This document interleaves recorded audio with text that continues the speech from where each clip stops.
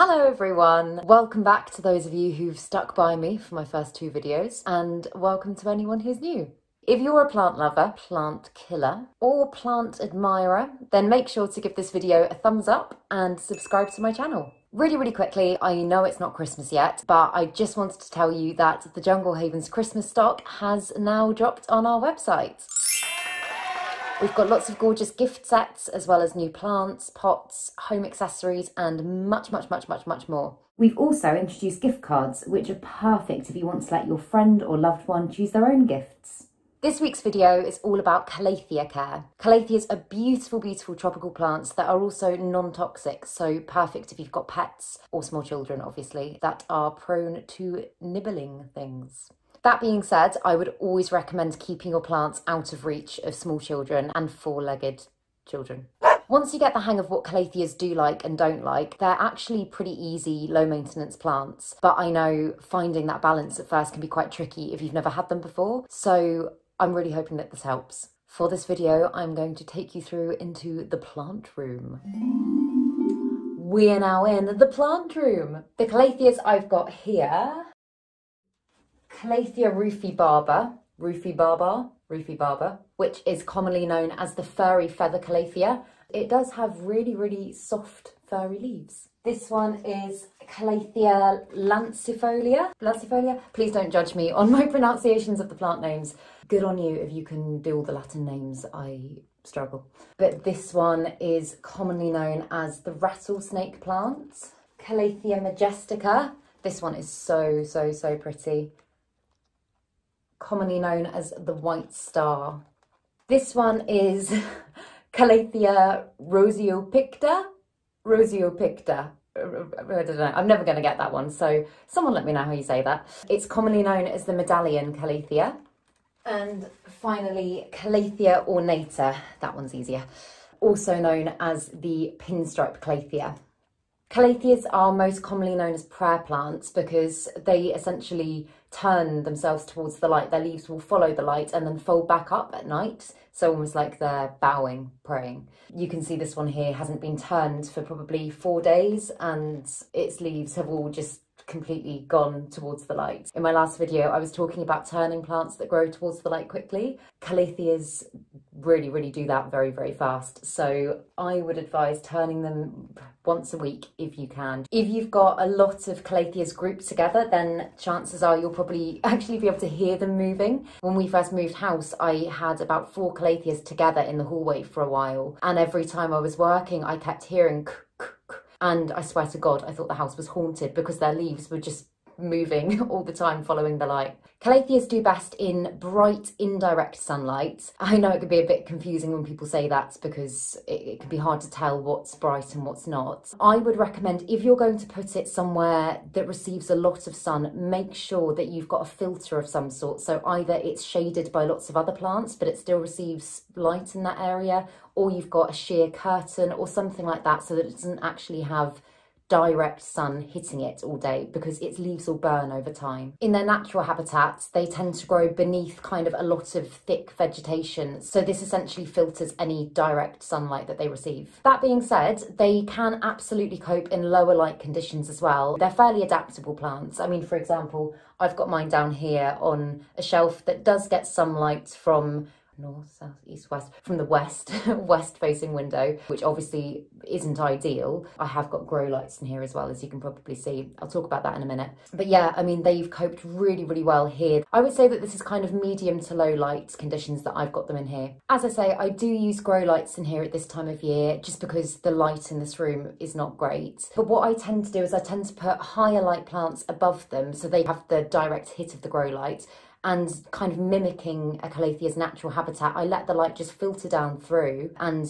they will receive that along with some natural light from the west facing window. I mentioned about turning your calatheas regularly. Another thing you should be doing is dusting their leaves regularly, allowing them to soak up as much light as possible in order to photosynthesize. And also, this is such a good opportunity to check for pests as well. Calatheas, unfortunately, are so susceptible to pests. Spider mites and thrips, I would say, are probably the worst. The best way to check is to just bring your plant under a really, really, really bright light and just check both sides of the leaves. Checking under the leaves is so important because that's where you usually notice it first. Don't just look for pests themselves, but look for uh, spider, like little spiders' webs, um, sandy residue on the leaves, discoloration, anything that just doesn't look quite right. Chances are, if it doesn't look quite right, it's not quite right.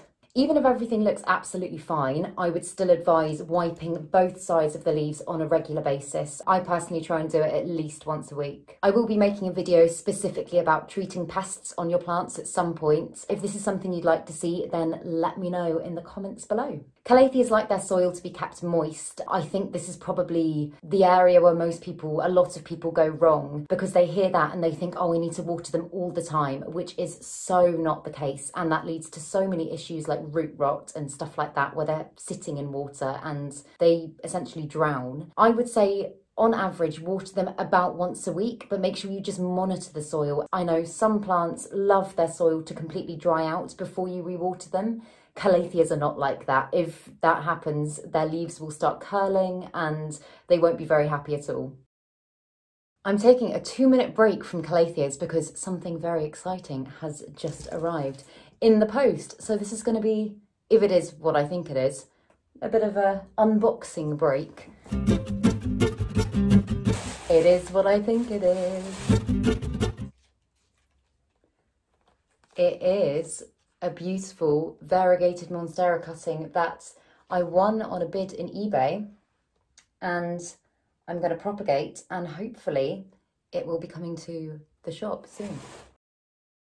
I always try to use either rainwater or filtered water to water my calatheas just because the chemicals, the minerals in tap water can be really harsh on them and cause lots of issues long term. I've said this before as well, but if you have a water softener, then don't use this water to water your plants. The chemicals in water softener are really high in sodium and over a long period of time, it can actually kill your plants. So I really wouldn't recommend doing this. This is something that I would say is a general rule for all plants that I always say underwatering is always better than overwatering. Underwatering, the worst that's going to happen is your plant's going to be looking a bit wilted and telling you when it needs a drink. Whereas if you overwater and your plant gets something like root rot, this can be a real, real pain to fix. And sometimes it's not fixable and your plant dies. So I would say if you're not sure about watering, underwater as opposed to overwater. Some people use a moisture meter to check their soil. It basically tells you whether the soil's dry, moist, or wet if you're not quite sure about watering. I personally don't really use this, but I know if you're just getting to know a plant and you haven't kind of found that right balance yet and you're not quite sure, then this is probably a really good shout because it will save you having to go through the under overwater thing. If the leaves of your calathea are yellowing and around kind of the base of the stem, it's kind of very dark, almost black, then chances are you have overwatered. If this is the case, I would say take it out of its nursery pot straight away and just really, really carefully check the roots. I did put a description in my first video in the box at the bottom, description box, about how you can try and fix root rots. It can be doable, I've done it before, but it's a bit of a pain, so you want to avoid it if you can. One of the main, main, main things that calatheas need to stay happy and healthy is high humidity levels. I have my humidifier set to about 65%, but if I've got the radiators on, then I'll whack it up to about 70. This is just because the radiators cause the air in your house to dry out quicker than it normally would. If you found the right balance with your watering, but your plant is still getting kind of brown spots, brown edges, particularly on the leaves, then chances are it is craving extra humidity. My advice would be invest in a decent humidifier. I do have a couple of cheaper alternatives that I talked about in my last video that I will put up there, up there, one of the two. But yeah, a decent humidifier is the best way forward. Also, the soil mix that I tend to use for calatheas is included in that video. I also sell a nutrient boost nutrient boosting plant mister. Oh my god, that's a tongue twister, which is great at temporarily raising the humidity levels and also helping to prevent pests. The one type of calathea I would say not to miss, I mean this is just in general actually for furry plants,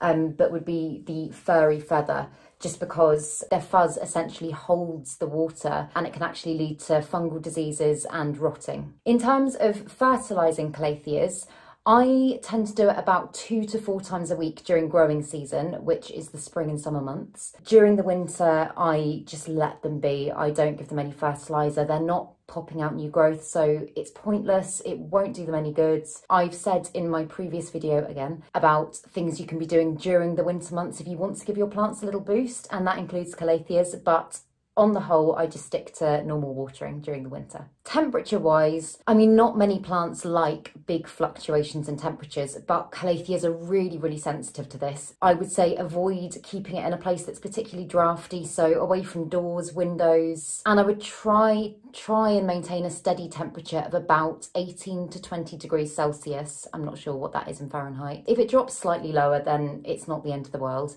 but I would say don't let it drop below about 15 degrees Celsius. This might all sound really, really finicky. I promise you it's not. One of my first plants was a Calathea, and she's still going strong to this day.